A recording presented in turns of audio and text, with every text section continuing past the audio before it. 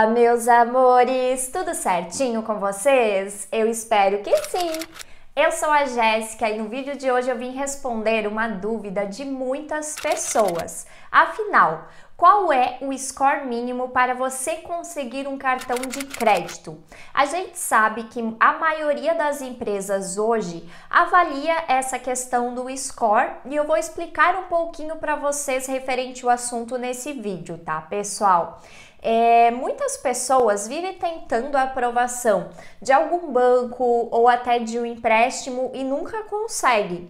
E isso é algo que é rotineiro na vida de algumas pessoas. Às vezes você pensa, ah, só eu que não consigo.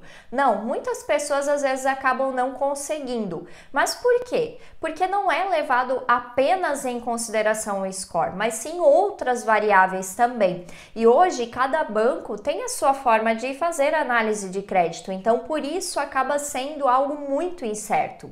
Tanto que às vezes quando eu faço vídeos aqui no canal falando é, sobre os cartões de crédito que aprovam com facilidade, eu sempre alerto as pessoas. Eu falo, ó, esses cartões aprovam com facilidade, mas vale lembrar que não é regra, porque a gente sabe que essa questão de análise de crédito é realmente algo muito incerto, é algo que é muito variável, tá, pessoal? É, então, assim, uma das principais é, avaliações é a questão do score que em muitos bancos não é nem avaliada, que não é assim um dos, um dos principais pontos, tá, pessoal? Mas é importante a gente entender qual que é esse score mínimo para você conseguir um cartão de crédito, tá? É, por meio da pontuação do score, só para vocês entenderem, é possível determinar se o consumidor tem mais facilidades ou não na aprovação de crédito,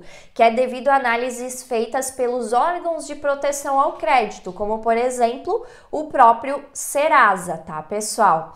É, segundo o Serasa, diversos pontos são avaliados, tá, no comportamento do consumidor para se definir esse score. Então, assim, até o próprio score já leva em consideração vários pontos para você ter ali a sua pontuação, tá?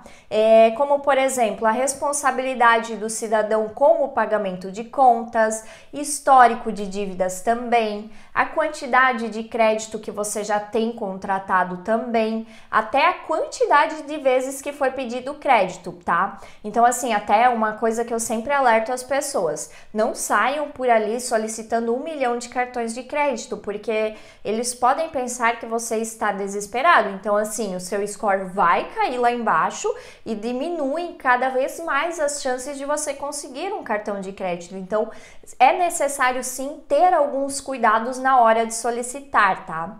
É...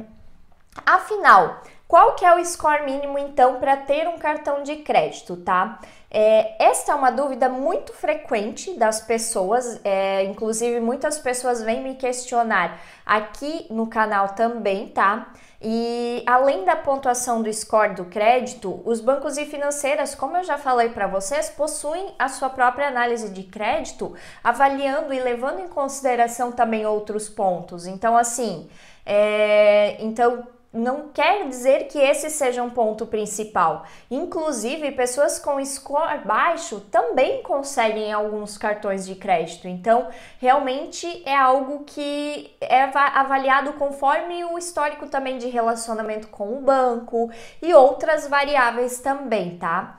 É, no caso do cartão de crédito, é preciso entender que não existe uma pontuação mínima tá? Então, assim, vocês podem ficar tranquilos que não existe uma, uma pontuação ali mínima para conseguir o cartão de crédito, tá? É, então, assim, o que, que vai levar em consideração são muitas outras variáveis e a gente sabe que é sim possível ter um cartão de crédito mesmo tendo score baixo. Inclusive tem vários vídeos aqui no canal falando sobre esse assunto e muitas pessoas relatam ter conseguido um cartão de crédito até estando negativado.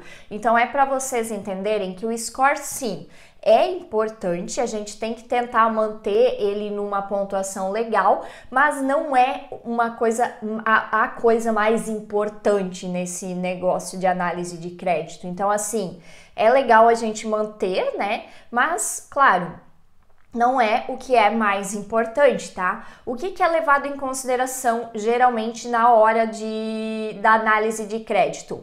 A renda mensal, você ter um emprego fixo, isso acaba ajudando bastante, dinheiro investido, os bens que você possui em seu nome, como por exemplo carro, casa também. É, e às vezes até o relacionamento prévio que você tem ali com o banco ou com a instituição. Eu até sempre falo para as pessoas: oh, poxa, não consegui um cartão de crédito. Então o que, que eu devo fazer? Eu já tentei em várias instituições. Primeiro você vai ter que esperar um pouco, porque quando você fica solicitando demais, isso também não é positivo, como eu já falei para vocês.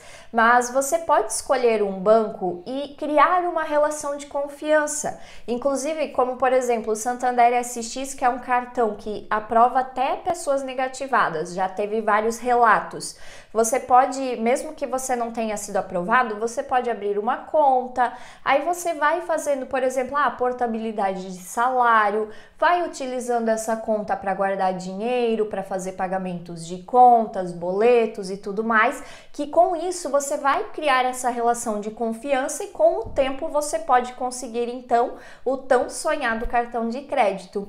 E é isso, pessoal, não tem muito segredo, é sobre isso que eu queria conversar com vocês hoje tá? É, eu espero de coração que eu tenha ajudado e que eu tenha sanado essa dúvida de vocês.